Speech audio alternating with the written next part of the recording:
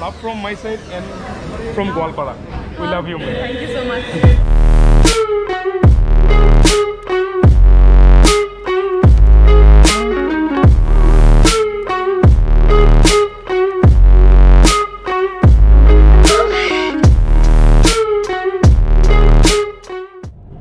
ৰাতিপুৱা গোৱালপাৰাৰ পৰা উঠি ডাইৰেক্ট গুৱাহাটী আহিলোঁ আজি অহা কাৰণটো হ'ল আজি ৰেনাউল শ্ব'ৰুমত মোক মাতিছে আৰু লগতে কোন আছে চাওক এইটো আৰু ইয়াতে আছে আমাৰ মিগানত। তো আমাক মাতিছে কাৰণ আজি ইয়াতে এখন গাড়ী এখন লঞ্চ হ'ব অল অভাৰ দ্য ইণ্ডিয়াত এইটো লখৰা যোনটো ৰেনাল্ডৰ শ্ব'ৰুম হয় গুৱাহাটী চিটি তো। এতিয়া আমি তাতে যাম যাই কিনে আপোনালোকক কোনখন গাড়ী লঞ্চ হ'ব আমাক তাতে কিয় মাতিছে সেইটো দেখুৱাম। আৰু কোন কোন তাতে আহিব আজি সেইটোও দেখাম ডাইৰেক্ট ফাইনেলি এতিয়া আমি আহি পালোঁ ৰেনাল্ড শ্ব'ৰুমত য'ত আমাক মাতিছে আমাক ইনভাইট কৰিছে। আৰু এতিয়া মই আপোনালোকক ইণ্ট্ৰডিউচ কৰাম the one and only the legend of Assam কৈ দিয়া বিনোদৰ বিষয়ে। টিনেজাৰ আছামৰ এডমিন গাইজ বহুত কণ্টেণ্ট ক্ৰিয়েটৰক আগবঢ়োৱাত সহায় কৰিছে। আমাক হেল্প কৰিছে। আমাক হেল্প কৰিছে। আৰু আপোনালোকে বাকীখিনিৰ পইচা দিয়া মোক টিন এজাৰ্ছ অফ আছামৰ এডমিন আমাৰ Binod da Binod da thanks for inviting us আমাক ইনভাইট কৰিছে ভাল লাগিছে। এতিয়া আপোনালোকক আমি গোটেইখিনি বস্তু দেখুৱাম। ভিতৰত কি হৈ আছে আৰু কোনখন গাড়ী আজি লঞ্চ হ'ব। বলক এতিয়া ডাইৰেক্ট ভিতৰত যাম।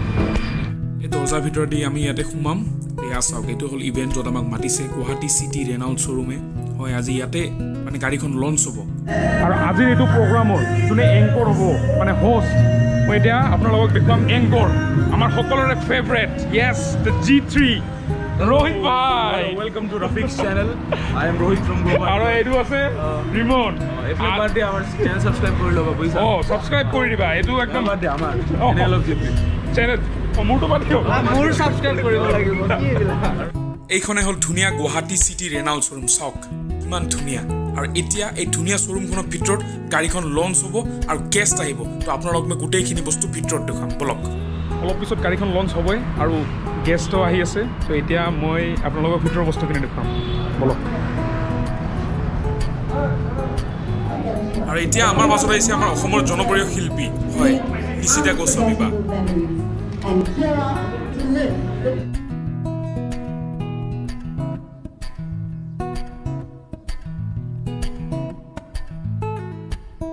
Three, two, one.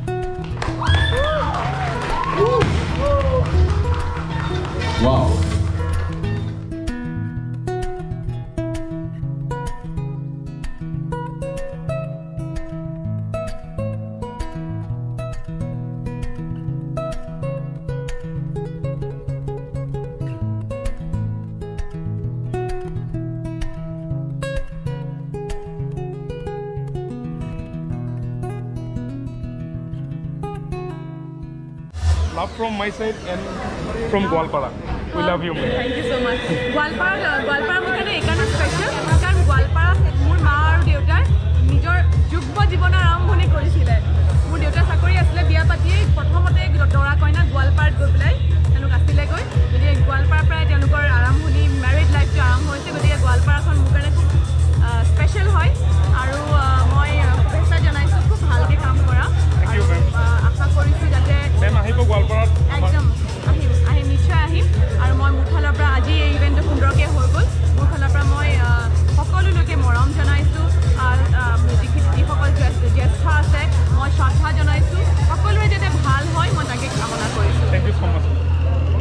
Thank you, Renald, for calling us.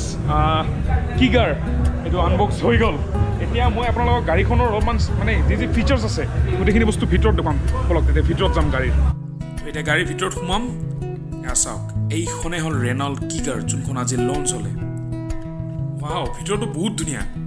চাওক ডাইচবৰ্ড আৰু এইটো হ'ল মিউজিক ছিষ্টেম বহুত ডাঙৰ মিউজিক ছিষ্টেম দিছে স্ক্ৰীণ টাচ আৰু ইয়াতে স্পেচিয়েল ফিচাৰ্ছ ইয়াতে চাওক এইটো ৱায়াৰলেছ চাৰ্জিং আছে। মোবাইল ৱায়াৰলেছলি চাৰ্জিং কৰা যায় আৰু speedometer and this car is available in two engine এটা আপোনাৰ টাৰ্বো ইঞ্জিন আৰু এটা এনাৰ্জি ইঞ্জিন স্পেচটো দেখুৱাই আছোঁ মই আপোনালোকক ইয়াতে দেখিব পাৰিছে এইটো হ'ল বেক স্পেচ